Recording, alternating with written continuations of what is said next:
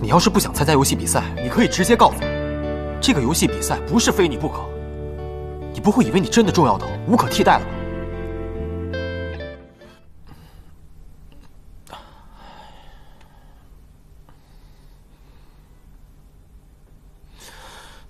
你竟然敢夜不归宿！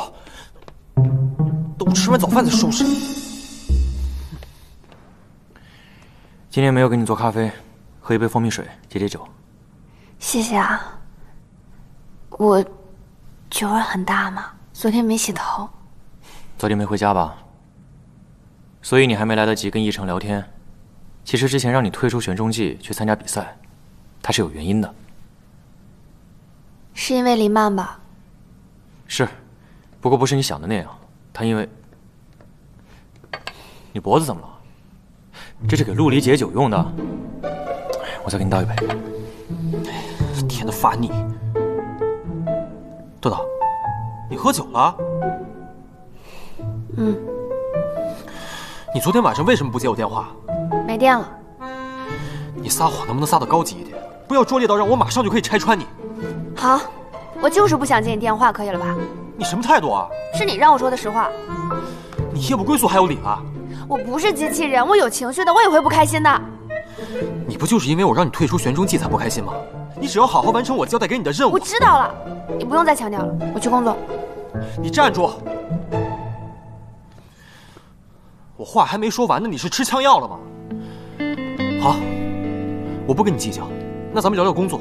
游戏比赛有时间限制，你对游戏有构思了吗？没有。你对拿第一这么胸有成竹吗？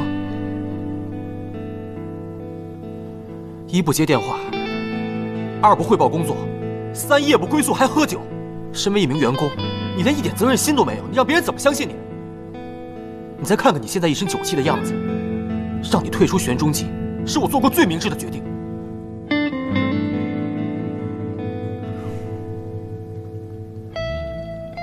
李成，你要是不想参加游戏比赛，你可以直接告诉我，这个游戏比赛不是非你不可。你不会以为你真的重要到无可替代了吧？他说的都是气话，你别当真。我会完成比赛，拿到第一名，我会打乱你的计划的。陆离，计划？什么计划？你在说什么？酒还没醒吧？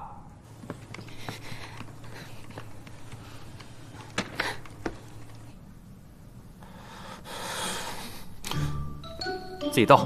我可是伤员，你活该。你为什么不好好解释一下跟他？你看他什么态度？我解释他听得进去吗？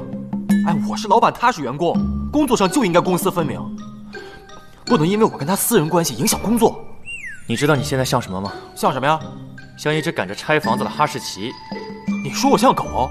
江一成，我认识你这么久，现在才发现你情商真的低到令人难以置信。我本来想好好帮你一把，你自求多福吧你。